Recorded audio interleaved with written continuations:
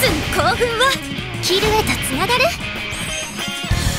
綾乃とキサラのキスキルストーリー解説。悪魔退治は終わらない。キスの始まり。ゲーム「エンゲージキル」はアニメ「エンゲージキス」の終わりから始まる。というわけでキスのストーリーを振り返ってみたいんだけど。まず私とシュウ君の蜜月同棲生活について。あなた最初はシュウの家に不法侵入してたわよね。愛さえあれば法なんて関係ないんです。いつか逮捕されればいいのに。えっとエンゲージキスは太平洋に浮かぶここベイロンシティを舞台にそれはそれはスリリングな事件がいろいろと起きていくわけだけど。そうそう。未練タラタラな豊島女が脈のない元彼に貢いでたりとか。うっさい！豊島でもないわでこの町では悪魔が引き起こす D 災害が多発していて。D?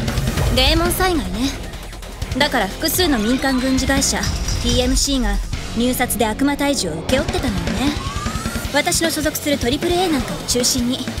私とシュウ君の事務所もね。価格ダンピングを平気でやる迷惑な零細企業ね。いいの。お給料が少なくたってシュウ君と二人ならそれにしても悪魔と契約してとんでもない力を得た人間いわゆる悪魔付きの起こす事件は最悪よね。あの芋虫とかおかげでしばらく停電生活だったし。